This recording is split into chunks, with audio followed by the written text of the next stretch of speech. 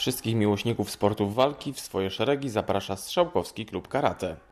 Stowarzyszenie działa już od prawie 4 lat i prowadzi zajęcia w dwóch lokalizacjach w Strzałkowie i Wólce.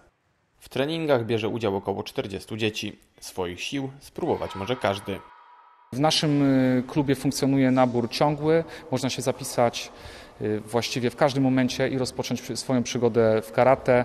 Y, Klub koncentruje się na działalności z dziećmi od 6 roku życia do 12. To jest taki przedział, w którym mamy największą ilość członków. Myślę, że sporty walki są atrakcyjne, ponieważ budują pewność siebie w dzieciach, a także uczą dyscypliny, wytrwałości i trening jest po prostu dla dzieci ciekawy.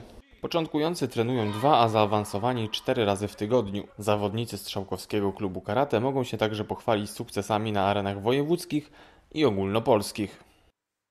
Już wkrótce reprezentacja klubu swoje umiejętności zaprezentuje na turnieju, który zorganizowany zostanie w Strzałkowskiej hali przy ulicy Górnej. Października odbędzie się pierwszy turniej organizowany przez nas, przez nasz klub. Y, Turniej nosi nazwę pierwszy ogólnopolski turniej karate Silver Cup. Y, Spodziewamy się sporego zainteresowania. Myślę, że przyjedzie do Strzałkowa około 300 zawodników z całej Polski. Więcej informacji na temat Strzałkowskiego Klubu Karate znajdziecie na jego profilu na Facebooku.